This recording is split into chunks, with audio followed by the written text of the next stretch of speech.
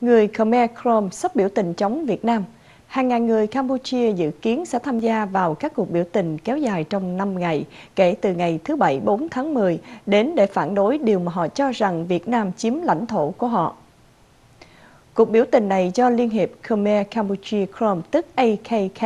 tức đại diện cho người Khmer sinh ra ở miền Nam Việt Nam và Liên minh Thanh niên Khmer đứng ra tổ chức. Dự kiến sẽ có 2.000 người tham gia các cuộc biểu tình này, theo tờ Cambodia Today.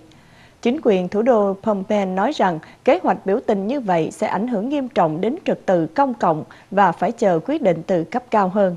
Đoàn biểu tình có kế hoạch sẽ trình thỉnh nguyện thư đến chính quyền Campuchia và các cơ quan quốc tế. Tờ báo Cambodia Time dẫn kháng nghị của ông Thạch Seta, chủ tịch của AKKK cho biết cuộc biểu tình lần này sẽ có 5 mục tiêu chính – Thứ nhất là đến Quốc hội trình thỉnh nguyện thư, yêu cầu cơ quan này can thiệp, buộc Ngoại trưởng phải giải thích về việc chính phủ Việt Nam làm giả lịch sử Campuchia. Thứ hai là tuần hành đến chỗ Thủ tướng Hun Sen, trình thỉnh nguyện thư yêu cầu tạm thời cắt đứt quan hệ ngoại giao với Việt Nam. Thứ ba là tuần hành đến Đại sứ quán Pháp để yêu cầu chính phủ Pháp giải thích cho rõ về các thỏa thuận mà họ đã ký kết với Việt Nam dẫn đến việc cắt đứt Khmer Campuchia Chrome sát nhập vào Việt Nam. Thứ tư là tuần hành đến văn phòng đại diện Liên Hiệp Quốc ở Phnom Penh để yêu cầu làm rõ tại sao Việt Nam lại nhận Khmer Campuchia Chrome là đất của mình. Cuối cùng là tuần hành đến các khu chợ ở Phnom Penh để vận động người dân Campuchia chấm dứt dùng hàng hóa và dịch vụ của Việt Nam.